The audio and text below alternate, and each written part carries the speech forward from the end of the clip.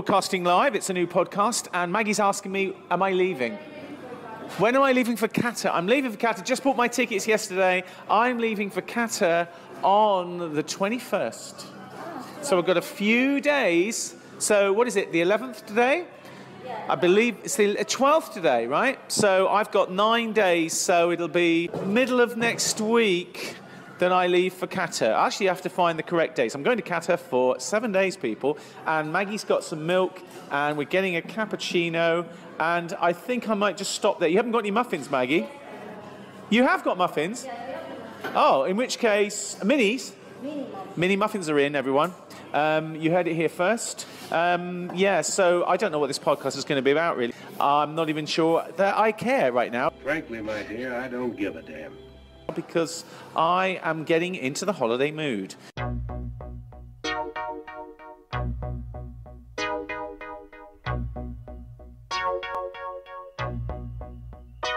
So we've got four days. Uh, we've just had a day off for an Arabic holiday, which is really good. Watched the golf. The golf was stupendous. I watched Shanshan Feng go around. That was really cool.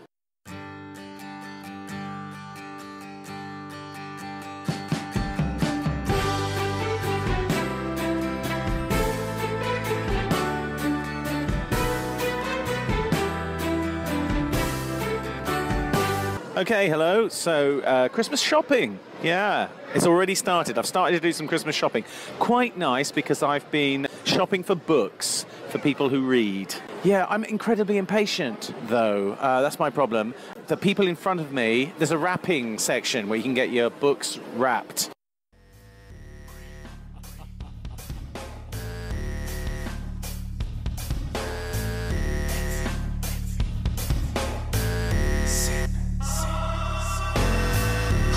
Myself to introduce myself. The name's Macbeth. During labor, I induce myself. Macbeth. I rap death until my last breath. That's where you find my address. Started with me and Banquo meeting these witches. They said my future would soon hold kingly riches. But Bun's sons would reign instead of me. I'm like, yeah, right. What could make my friend into my enemy? But I found out that the Cawdor title was mine, and suddenly. I was thinking, right, I'll just pay for my books and go and line up and get my books wrapped. My goodness, two ladies in front of me had, you know, the kind of uh, shopping baskets that you have when you do your groceries. They had more books than I bought groceries for the whole week. My favorite vegetable. Staggering. They were taking ages uh, to wrap, you know, like, they, obviously it was a one stop thing for them. They had like 20 books to wrap and boxes of toys and what have you.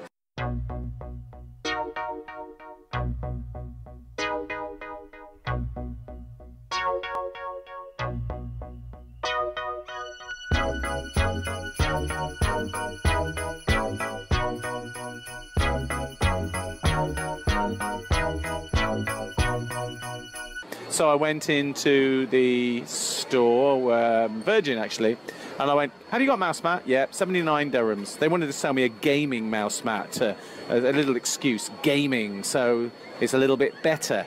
Uh, is it better or worse? You know, does gaming mean that, you know, they, they say, oh, here's a gaming computer. This, this computer's for gaming. But they don't load it up with games.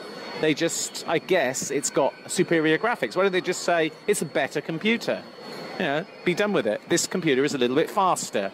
And if you want to use it for games, that might be, you know, there must be a lot of people doing computer games. I haven't got time for it, really, to be honest. But give me a fast computer. Anyway, so the massive queue. I thought, people are just standing there. It's dead time.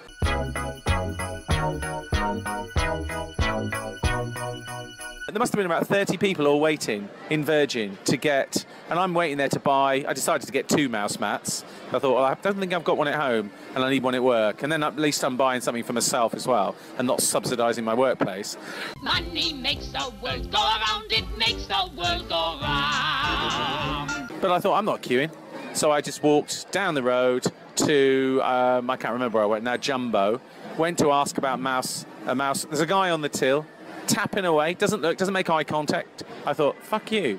Um, sorry, Uli. And I went off and found a guy who's roaming the shop floor. If I just want them to mind their own business and I just want to browse, I got people coming up to me, yes, sir, can I help you, sir? But when I need information, they're head down, tapping away on the till. Jumbo,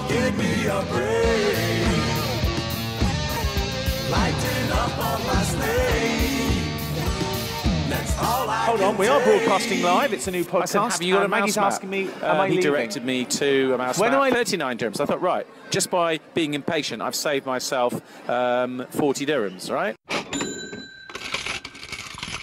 So I said, great. And then he said, I need to take a number. He, he walks up to the till with me, hands the same guy who with his head down, busy tapping numbers. And um, he he, he takes my mouse mat. I think, right, okay, it's going to be tap, tap, tap, and then I'll put my, my um, pin number in. About 50 strokes of the keyboard later, count them, 50. I was counting. He was, it was well over 30. Tap, tap, tap. I thought, okay, that's it now. I'll put my pin number in. No. Tap, tap, tap. few more. Tap, tap, tappity, tap, tap, tap. I thought, is he actually dealing with me? I suspect he wasn't. I suspect he'd taken my um, mouse mat and he was going to action it when he'd finished what he was already doing. Um, because that, that's the only thing that explains the fact that he was tapping so long. And I'm thinking every, every stroke of the keyboard was like an eternity. I'm waiting here. You know, that tap, tap, tap, and there's nobody else waiting. I don't know what he's doing. Anyway, eventually he um, takes the pin, the, the gives me the mouse mat in a bag, and I said, uh, and he carries on tapping, tap, tap, tappity, tap. I said, I just need the receipt now. He goes, yes, sir. And he's tap, tap, tap. Goodness gracious. We live in an automated society. It's 2016. Surely it needs to be facilitated like one tap.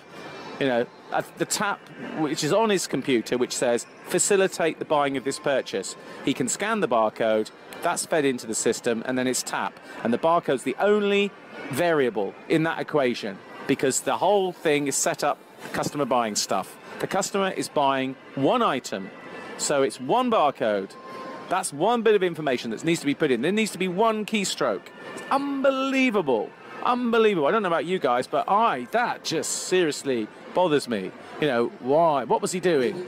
Uh, like I said, if he's doing something else, not happy with that service, you know. Um, anyway, I got Ah, mouse mat. I forgot to buy two. Damn it. Drat. I'll have to go back. I'm not going to. I've got a mouse. And, and I've got some nice books. What did I buy? Well, these are gifts, so I'm, I'm, I'm revealing the content of the gift.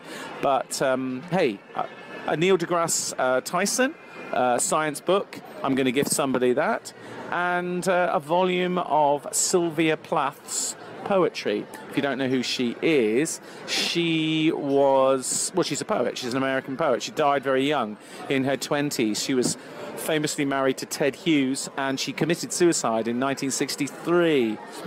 And Ted Hughes, obviously, would have been as her husband, and uh, you know her equal in poetic talent, possibly her superior, and she was phenomenal. She was a phenomenal talent, phenomenally talented uh, poetess. Um, but Ted Hughes also phenomenally talented, and uh, he um, managed her poetic estate, if you like, and he was responsible for putting out and editing anthologies of her poetry.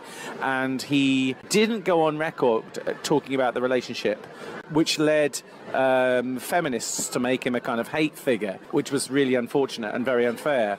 Uh, but people were saying, you know, no smoke without fire. Uh, another relationship, possibly another wife of Ted Hughes. I think she was called Erica Wevill, but you'll have to check that out for yourself. She committed suicide too, um, which was, again, very unfortunate. So, Ted Hughes.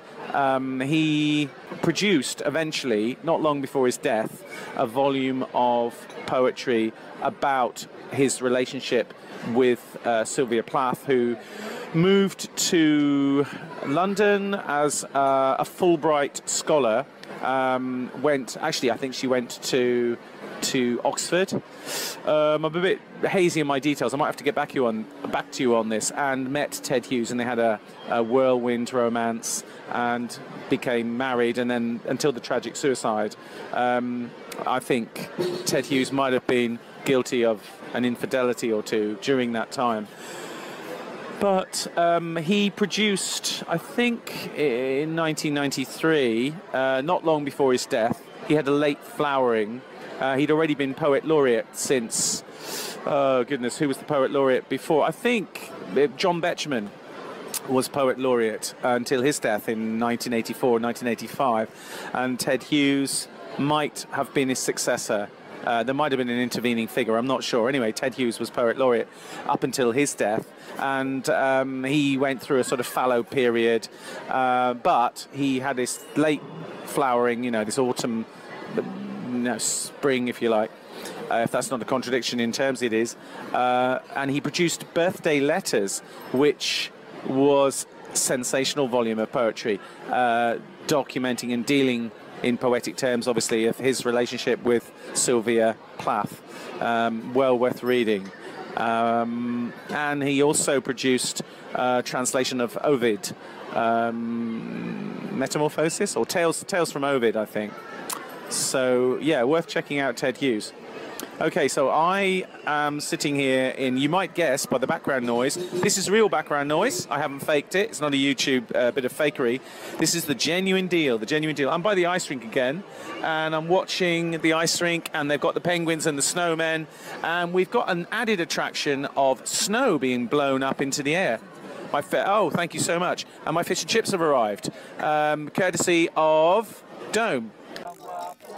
Here we are at the um, Dubai Drums Arabic Desert Camp, and I'm just going to let, you listen to the wonderful sound of Capoeira.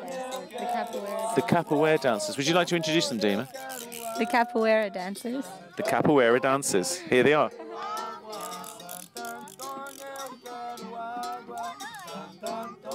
In a way, you don't really need to know what they're singing about. You can make a guess what it might be about. What do you think it might be about? What would you like it to be about? Capoeira dancing. Okay. I'd like it to be about the freedom to explore different options in your life.